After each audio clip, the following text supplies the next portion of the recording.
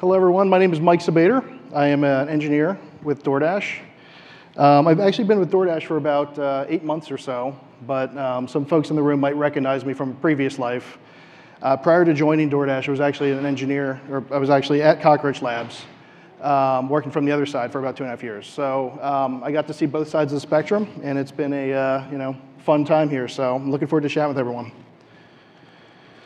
So um, let's set the stage a little bit. Alessandro gave us a good background in how we got to Cockroach. Let's set the stage a little bit about who we are and what we do. So myself, several other folks in the room are a member of the uh, core infrastructure team, specifically storage infrastructure team. And we're responsible for the scaling, tuning, operating, and building tools around Postgres, Cockroach, Cassandra, Kafka, and Elasticache. And uh, as you can imagine, one part of that is running Cockroach DB, and that's what we're going to talk about today the way that we uh, run a fully abstracted CRDB as a service for the engineering org within DoorDash. So a little bit about how we deploy. Um, we deploy Cockroach DB in a single AWS region, although we do have multiple regions. Um, we run three AZs within those data centers uh, directly on EC2. Um, we're running replication factor 5. Um, we're using ZFS on EBS to isolate us from the entropy of what you might find with EBS, any unpredictability. Um, we've standardized on uh, M6i or M7G instances, and uh, we have everything fronted by an NLB in front of each AZ to direct traffic evenly among them. So a little bit about our growth story. So uh, anyone who was here last year at uh, RoachFest might remember some of these numbers. But since then, we've grown up here a little bit. Um, our number of nodes has increased by about 55%. Data size has more than uh, almost doubled to uh, almost two petabytes at this point. Um, largest cluster, over 1.3 million ranges. Change feeds, um, you know, getting close to 900 change feeds at this point. So a little bit more about our, what we're doing here and the uh, scale of what we're working with. Uh, we have about 335 clusters right now across 230 nodes, almost two petabytes of disk. Um, our, our, daily peak within Cockroach is uh, typically you know, in the neighborhood of 1.2 million queries per second. Now, that's not rows per second, queries per second. Um, and I think, you know, I heard this morning when Spencer was talking, he mentioned something about some on-demand delivery company with uh, like 900 change feeds. So I'd actually like to meet those folks because it sounds like they're doing what we're doing. Um, we're using auto scaling. Um, our largest cluster, actually, this is out of date as of a couple hours ago, but our largest cluster as of this writing was 96 M6i 12x nodes. I just spoke to a member here of our DB Ops team, and he mentioned that they just scaled it up another 24 nodes. So we're up to about 120 M6i 12x nodes. So do the math on those numbers, of course. Uh, largest cluster, um, you know, we got up to about 650 terabytes in a single cluster and we provision new clusters with an SLO of under six minutes. So from the time we hit go, we can have a cluster up and running in about six minutes or so. So, um, you know, within, within DoorDash, right, we run this abstracted service for all the engineers within the company. And, um, you know, it's been a growth story, right? There was a point where we just had a couple clusters, and now we're up in the multi-hundreds numbers of clusters. There was a time where we created users manually. There was a time where we created users by defining them in uh, GitHub and having them applied with Terraform. We're uh, making big efforts in the self-serve space. And uh, what we're looking at here right now is our DB console, which enables self-service for a whole bunch of our services. Um, specifically, in this case, we're looking at a Cockroach self-serve screen here.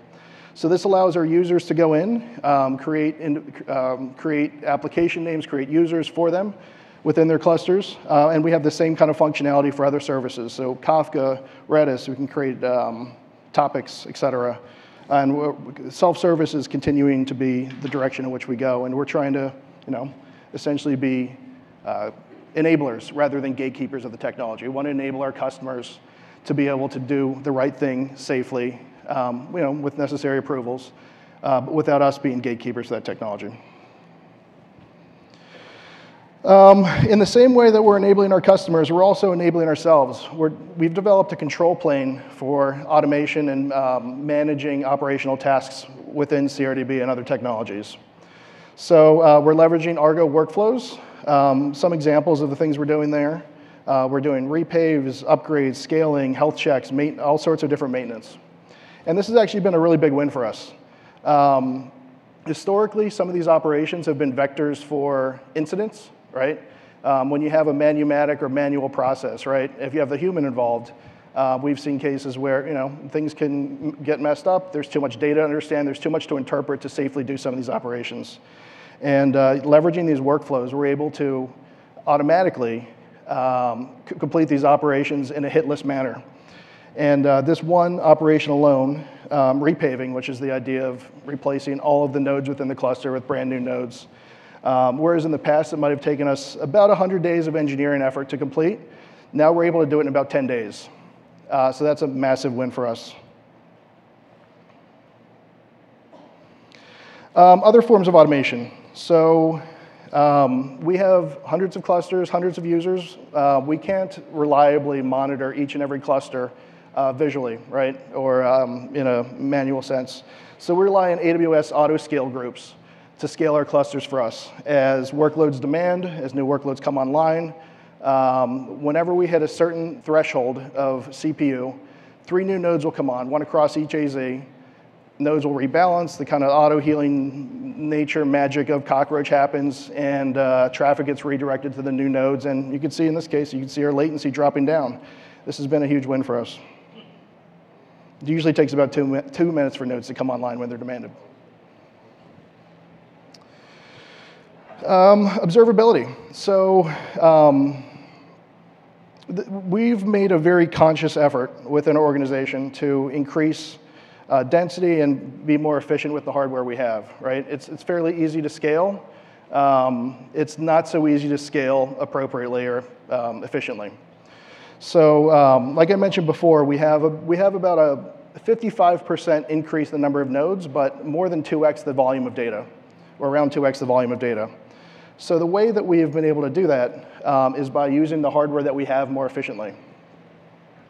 So um, we have tools like this in place. This is an internal tool right now to basically monitor the uh, health and uh, resource metrics of clusters at different points throughout the day, um, whether it's peak, whether it's off peak, and size these appropriately. This is something we're going to be pushing out to our dev console here in the near future.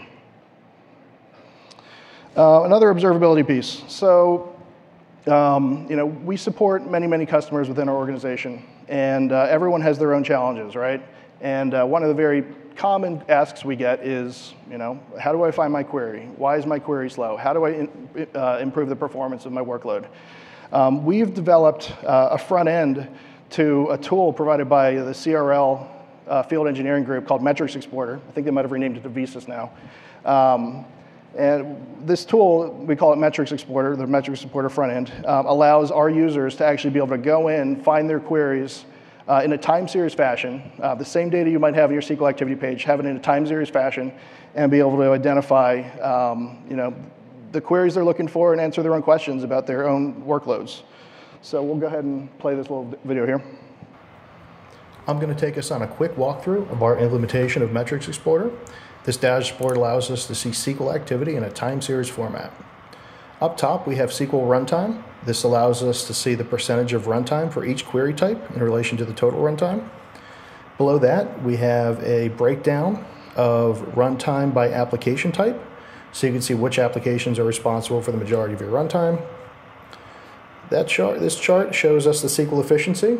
We can see how efficient our total SQL workload is, um, how much full table scan activity, uh, optimized index joins, etc.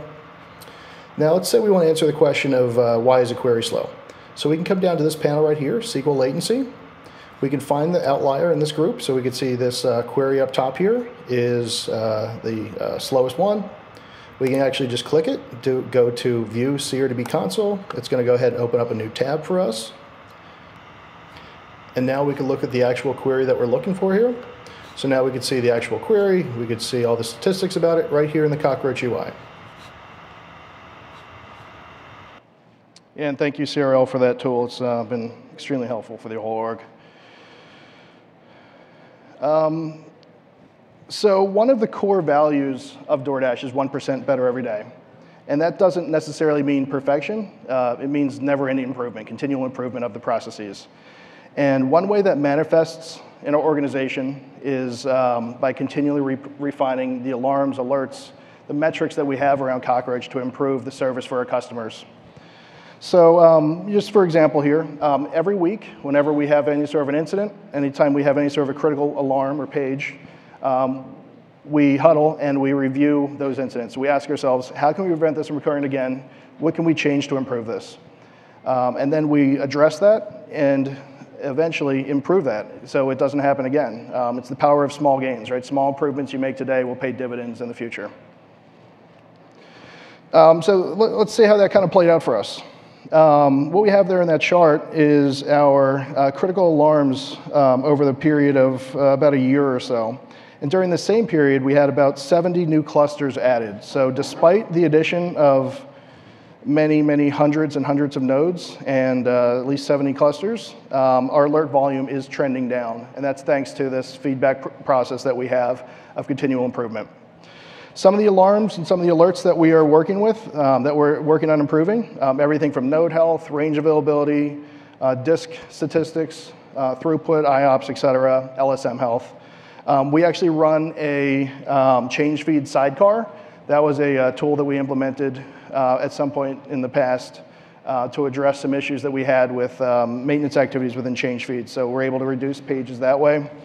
Um, we're leveraging SURF as an independent observer of the network. So um, whenever the question comes up about what's the network doing, now we have statistics to tell us that. And another tool, DiskSurf, um, which gives us actual observability into the EBS volumes.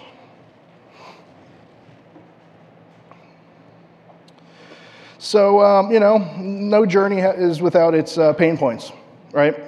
Um, some of the um, causes of either internal incidents or cluster incidents that we have uh, can be probably bucketed within two categories.